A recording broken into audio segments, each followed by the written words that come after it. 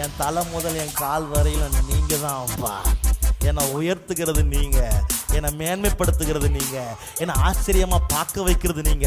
என்னை அழகா நடத்துறது நீங்கள் எனக்கு அமைதியை கொடுக்கறது நீங்க. எனக்கு ஆரோக்கியத்தை கொடுக்கறது நீங்க.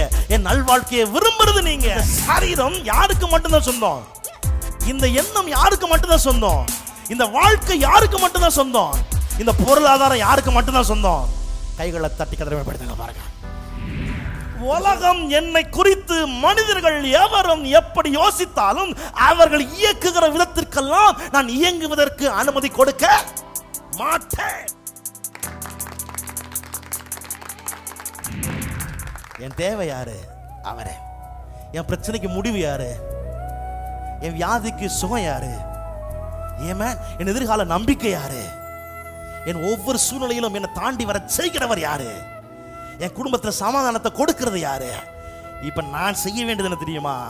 அவருக்கு நான் அலோ பண்ணுறேன் நான் என்னைக்கு அப்படி இடம் கொடுக்கிறேனோ அன்றைக்கு தான் அவர் வேலை செய்கிறதை நான் விளங்கிக் கொள்ள முடியும்.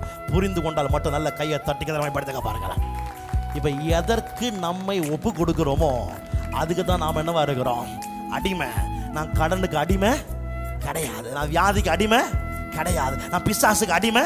நான் தேவைகளுக்கு அடிமை அவன் மனுஷன் இயக்கிற விதமாலாம் இயங்குறதுக்கு நான் யாரும் கிடையாது. அடிமை இல்லை.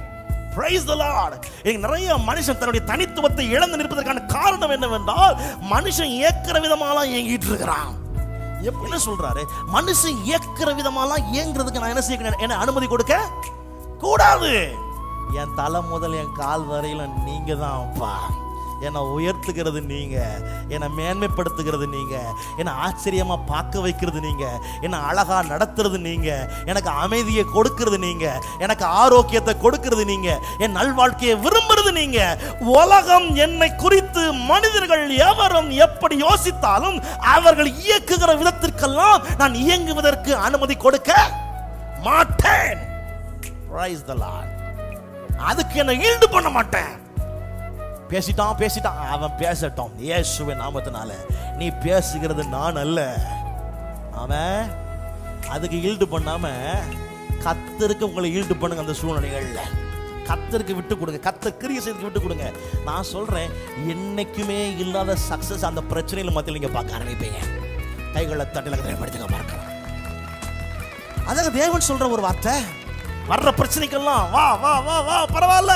பரவாயில்ல இல்லை. ஏய் உனக்கு என் மேல அதிகாரம் கிடையாது. என்ன நான் ஒப்பு கொடுக்க? மாட்டேன் முடியவே முடியாது. இந்த சரீரம் யாருக்கு மட்டும்தான் சொந்தம்? இந்த எண்ணம் யாருக்கு மட்டும்தான் சொந்தம்? இந்த வாழ்க்கை யாருக்கு மட்டும்தான் சொந்தம்? இந்த பொருளாதாரம் யாருக்கு மட்டும்தான் சொந்தம்? கைகளை தட்டி கதிரமைப்படுத்துங்க பாருங்க.